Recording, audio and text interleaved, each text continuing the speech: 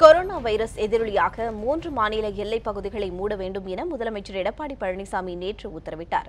இந்த நிலையில் தமிழக எல்லைப் பகுதியான தென்காசி மாவட்டம் புளியரை சோதனை சாவடியில் தற்போதைய நிலவரத்தை பதிவு செய்தார் நமது மண்டல செய்தியாளர் சுடலை குமார் அதனை தற்போது பார்க்கலாம். தமிழகத்தில் கொரோனா வைரஸ் பாதிப்பை கட்டுப்படுத்துவதற்காகவும் தடுப்பு நடவடிக்கையாகவும் தமிழகத்திலிருந்து கேரளா செல்லக்கூடிய சாலைகள் இன்று முதல் மூடப்பட்டுள்ளன. குறிப்பாக நான் தற்பொழுது தென்காசி மாவட்டம் புளியரை சோதனை சாவடியில் இருக்கின்றேன். இந்த பகுதியிலிருந்து கேரளாவின் பல்வேறு பகுதிகளுக்கும் செல்லக்கூடிய ஒரு முக்கிய மார்க்கம் இந்த ஒரு பாதை தான். தமிழகத்திலிருந்து அதுவும் தென்காசி மாவட்டத்தில் செல்லக்கூடிய அந்த பாதை.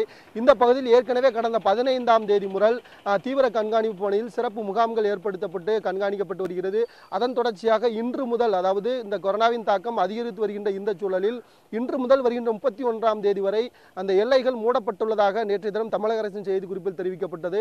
அந்த அடிப்படையில் இங்கு இங்கு பார்த்தோமானால் இந்த புளியரை சோதனை சாவடியில் பொது சுகாதாரத்துறை மற்றும் துப்புரவு பணியாளர் மற்றும் காவல்துறையினர் மூன்று துறையினரும் இணைந்து இந்த பகுதியில் தடுப்பு முகாமினை ஏற்படுத்தி மிகவும் தீவிரமாக கண்காணித்து வருகிறார்கள். குறிப்பாக கேரளாவிலிருந்து தமிழகத்தில் வரக்கூடிய எந்த வாகனங்களும் இங்கே அனுமதிக்கப்படவில்லை. அனைத்து வாகனங்களும் திருப்பி அனுப்பப்படுகிறது.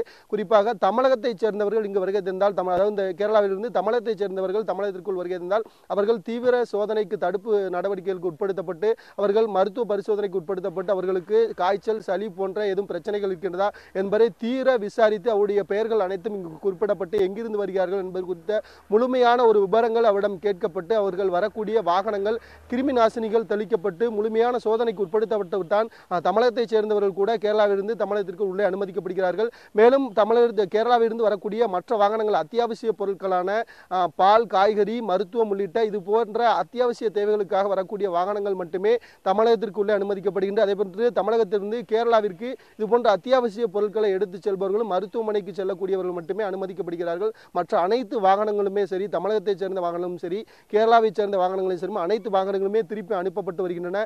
முழுமையாக இந்த கண்காணிப்பு என்பது இன்று அதாவது அதிகாலை பன்னிரெண்டு ஒரு மணி முதல் இந்த தீவிர கண்காணிப்பு என்பது அதிகரிக்கப்பட்டுள்ளது. ஏனென்றால் தொடர்ந்து அதிகரித்து வருவதன் காரணமாக இந்த தமிழக அரசின் உத்தரவின்படி இந்த சோதனை சாவடியில் தீவிர தடுப்பு நடவடிக்கைகள் மேற்கொள்ளப்பட்டு வருகிறது. இன்னும் அதாவது இன்று பகல் பன்னிரெண்டு மணிக்கு மேல் மிகவும் மிகவும் தீவிரமாக கண்காணிக்கப்பட்டு எந்தவித வாகனங்களும் முழுமையாக அதாவது நாளைய தினம் ஏற்கனவே பிரதமர் நரேந்திர மோடி ஊரடங்கு உத்தரவுக்கு அழைப்பு விடுத்திருக்கிறார். அதன்படி இங்கு ம- எந்த ஒரு வாகனங்களும் உள்ளே அனுமதிக்கப்படு அனுமதிக்கப்படுபடி இன்று நள்ளிரவு பன்னிரெண்டு மணி முதல் எடுப்பதற்கான அந்த தீவிர தடுப்பு நடவடிக்கைகளும் மேற்கொள்ளப்பட்டு வருகிறது. ஒளிப்பதிவாளர் வள்ளிநாயகம் மற்றும் செய்தியாளர் ராஜனுடன் M. Sudalaikumar news seven Tamil Puliyarai சோதனை சாவடியிலிருந்து.